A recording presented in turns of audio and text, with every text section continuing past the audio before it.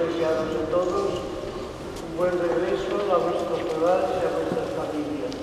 Que salgáis todos confortados en la fe para ir a luchar por la vida y a iglesia en medio del mundo. Y la bendición de Dios Todopoderoso, Padre, Hijo y Espíritu Santo, descienda sobre vosotros. Podéis ir en paz.